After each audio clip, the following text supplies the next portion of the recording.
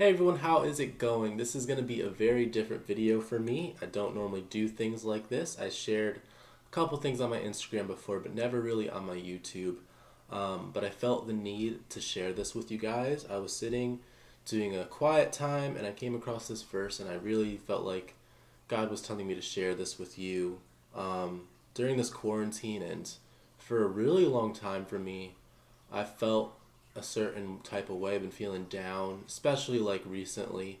And I feel like a lot of you may be feeling the same way or similar to the way that I'm feeling right now. Um, and I came across this these verses, and I'd like to share them with you. Um, I'm going to start in Psalm 107, verse 4. It's going to go from 4 to verse 9. Some wandered in desert wastes, finding no way to a city to dwell in. Hungry and thirsty, their soul fainted within them.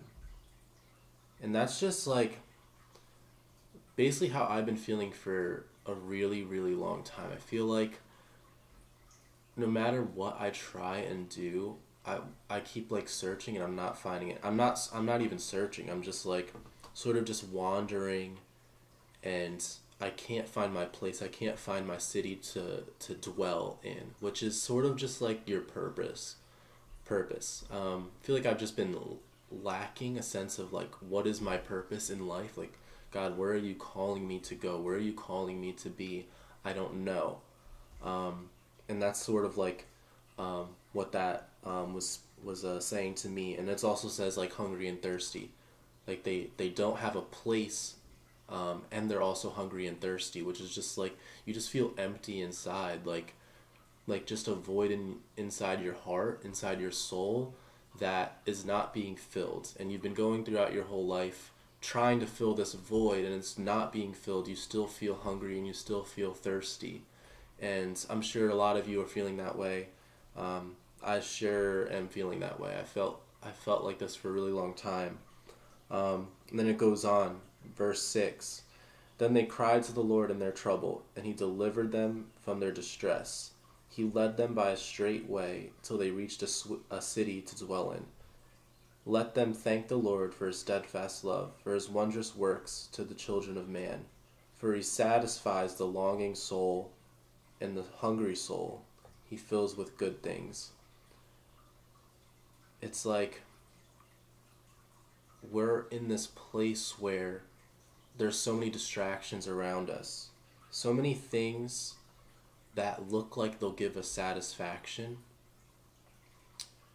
and they look like things that will fulfill us. They look like things that will give us purpose and all these things.